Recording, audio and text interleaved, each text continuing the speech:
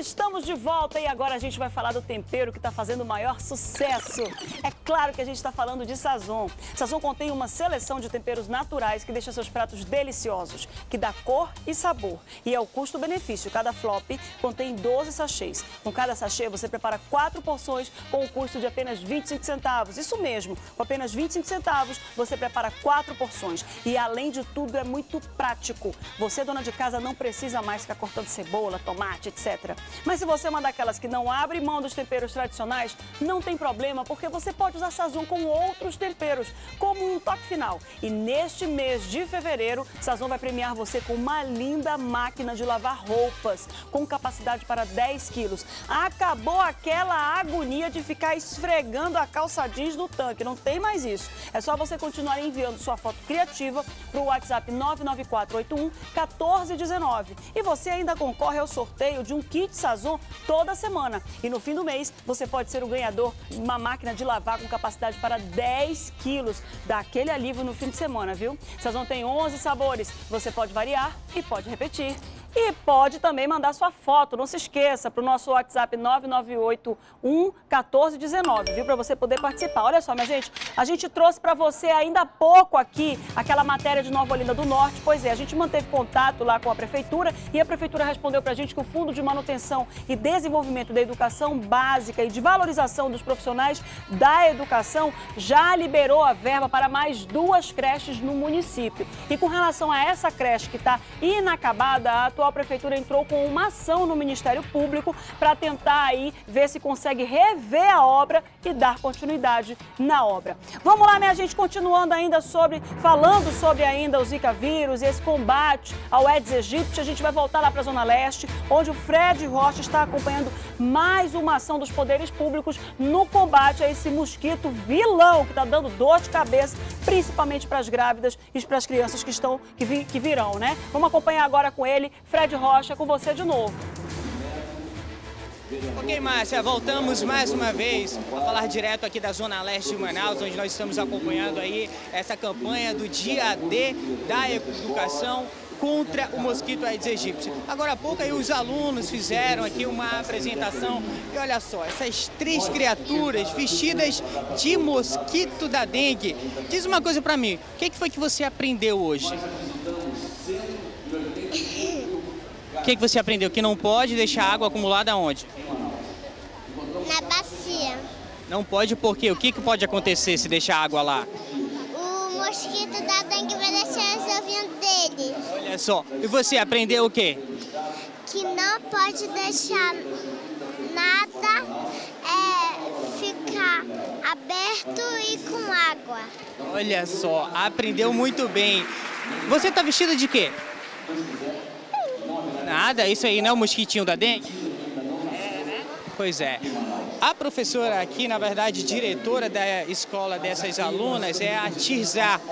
Gostaria que você conversasse comigo como é que é esse trabalho que é realizado com essas crianças, né? É de levar, de fato, a informação para que elas disseminem isso? Sim, na realidade, é, nós trabalhamos de forma preventiva, né? Trabalhamos é, com atividades lúdicas, com palestras, as professoras elas levam à sala de aula vídeos que mostram toda a prevenção e juntamente com as crianças, que elas são as grandes disseminadoras desse, desse, desse trabalho, desse processo, os pais também eles colaboram bastante. E elas que vão disseminar isso com os pais. E os pais também é, estão em parceria com a escola de forma que é, a comunidade também ela faça a prevenção contra esse, esse mosquito Aedes aegypti. Ok, muito obrigado pelas suas informações. Então está aí, esta foi apenas uma das atividades que foram realizadas agora pela manhã aqui na, nesta escola na Zona Leste de Manaus. Pedir aqui para o Anderson Tavares me acompanhar, que a cerimônia de abertura ainda está sendo realizada ali em cima. Agora o prefeito Arthur Neto está né, falando e daqui a pouco nós nós vamos voltar mais uma vez. Nós vamos tentar em uma palavrinha do prefeito Arthur ou do governador José Melo, que também está presente aqui nesta cerimônia. Eu volto com você, Márcia. Obrigada, Fred. O Fred trazendo informações pra gente sobre essa continuação aí desse combate do Aedes aegypti, né? Zika zero. Essa aí é que esse é que é o combate ali do, do Aedes aegypti, consequentemente das doenças que o Aedes aegypti pode proliferar. Daqui a pouquinho o Fred volta outra vez para encerrar a participação dele e trazer mais informações sobre esse combate. Olha só, minha gente, mudando de assunto, você que está aí do outro lado acompanhando o programa da comunidade, Ligando pra gente, 3307-3951 e 3307-3952. Capricha nessa sirene, Ricardinho, porque a gente vai trazer informações de polícia. O irmão do narcotraficante, conhecido como João Branco, foi preso ontem pela manhã. Ele era investigado por tráfico de drogas e porte ilegal de armas. A gente vai ver agora, coloca na tela. Manuel Ivane Pinto Carioca, de 37 anos, foi preso na casa dele, no conjunto Beija-Flor, zona centro-sul. Ele é apontado pela polícia como participante da facção criminosa Família do Norte. Ele também tem envolvimento com tráfico internacional de drogas e homicídio. Ele não resistiu à prisão e confessou participação nos crimes. Para a polícia, desde que o narcotraficante João Branco fugiu do país depois de fazer algumas cirurgias plásticas no rosto, quem assumiu o comando do tráfico de drogas na capital foi o irmão dele, Manuel Carioca. Ele estava sendo procurado desde novembro do ano passado, quando a Polícia Federal deflagrou a Operação La Muralha, na qual outros líderes da FDN foram presos. É, na verdade, foi um trabalho em conjunto que a gente fez aí com a Polícia Federal, né? A gente compartilhou informações através aí desde a Operação Muralha, né? Iniciamos essa, prosseguimos com as investigações e conseguimos também, juntando com algumas denúncias anônimas, efetuar a prisão nessa, nessa manhã. Manuel foi encaminhado a uma unidade provisória e deve ficar preso em regime de isolamento, por se tratar de um criminoso de alta periculosidade. E não foi só esse que foi preso, não. No Japim, a polícia prendeu o líder do tráfico de drogas na zona sul da cidade e que teria envolvimento em uma chacina aqui na capital. Foi o Bruno que foi preso. Coloca na tela. Bruno Conte Araújo Brandão, de 33 anos, era procurado pela polícia desde 2014 por envolvimento com tráfico de drogas e homicídios na capital. A polícia suspeita que ele tenha ligação com a chacina de junho do ano passado, na qual 37 pessoas foram mortas. Naquele fatídico dia lá que foram, acho que 37 ou 36 homicídios possivelmente ele tem envolvimento em alguns desses, desses crimes aí que foram praticados. Com o dinheiro do tráfico, ele financiava um clube de futebol amador e promovia torneios na zona sul da capital. É, ele financia um time de futebol, né? Eles participam de torneios, né? E esse time sempre está está disputando ali partidos ali na região ali do ginásio do Japim. Ele foi encaminhado à cadeia pública Raimundo Vidal Pessoa, onde vai permanecer à disposição da justiça. E não foram só essas apresentações da polícia nesta manhã, não. A gente vai trazer mais informações para você também do 15º Distrito Integrado de Polícia, notícias que a polícia traz, prestação de contas à sociedade. Quem vai trazer as informações para a gente é o Juscelio Paiva na tela. Juscelio. A Polícia Civil apresentou o Marcos Antônio Barbosa, um desempregado de 34 anos. Ele é suspeito de tráfico de drogas no bairro Monte das Oliveiras.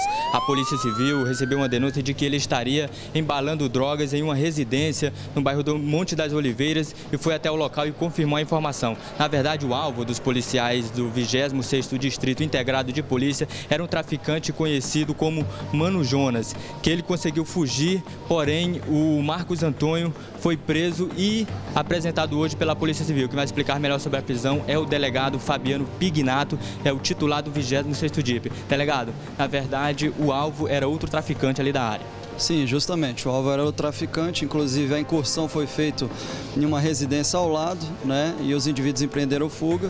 Porém, no momento da saída, as crianças que estavam na rua indicaram a casa de Marco Antônio.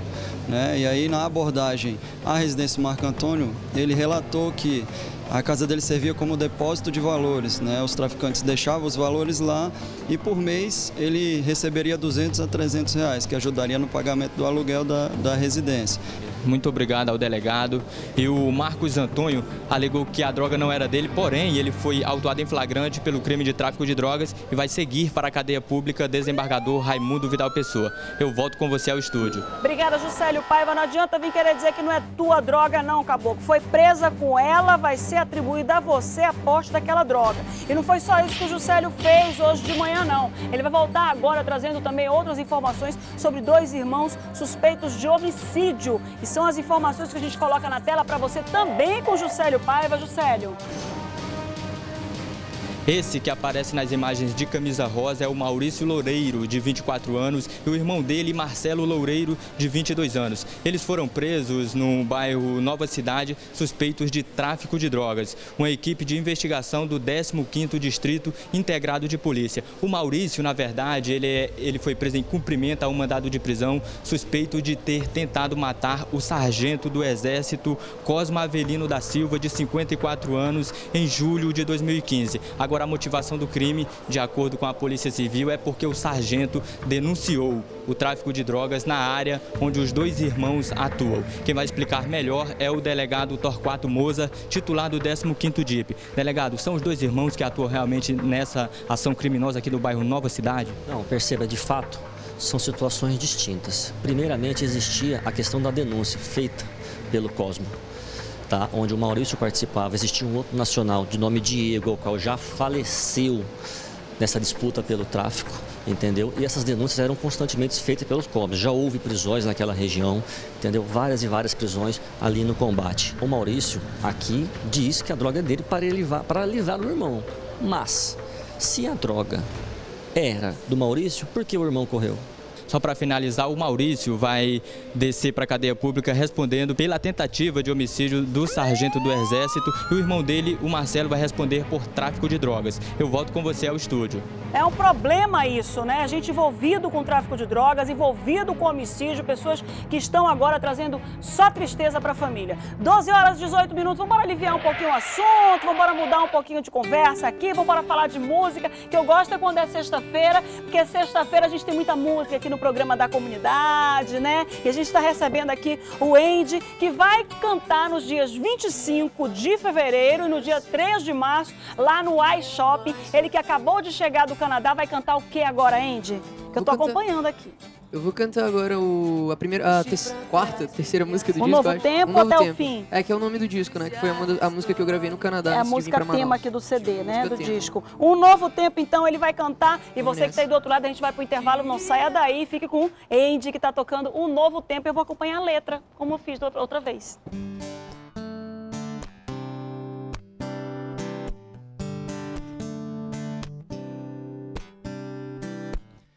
Faz tanto tempo que eu queria te falar de algumas coisas que um dia só te fez chorar. Sei que pode não ser tão fácil assim pensar em tudo e achar que vai ter fim. Choro quando me lembro de você, daqueles dias em que eu só te fiz sofrer. Foi tão difícil enxergar.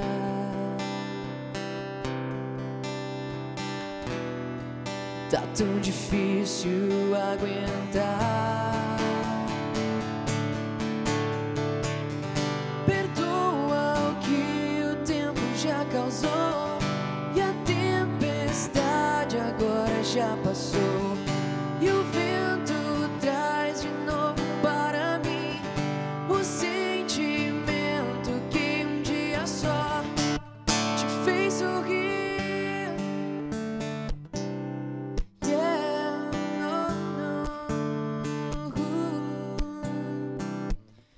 Sometimes it's hard to forget all these little things, but I cannot let you far away from my dreams.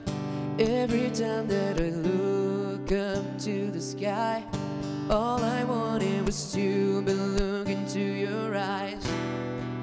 Foi tão difícil enxergar. Tá tão difícil